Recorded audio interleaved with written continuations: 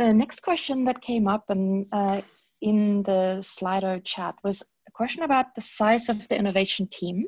And maybe you can also say a few words about the background that the people in your team have.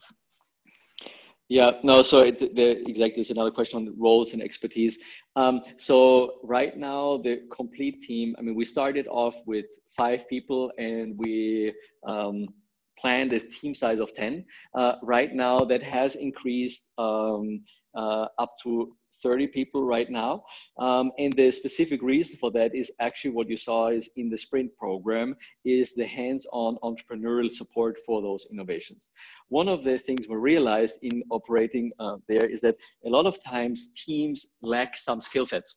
Um, and so the, the, the people on the team here 70% of the time are actually traveling uh, in those locations. So in South Sudan, in Cambodia, or um, wherever really.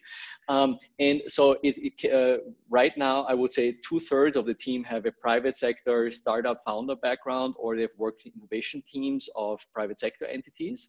Um, and the other third has experience in pushing innovations in developing countries. And there's obviously an overlap between both, but then you also develop that complementary skill set over time.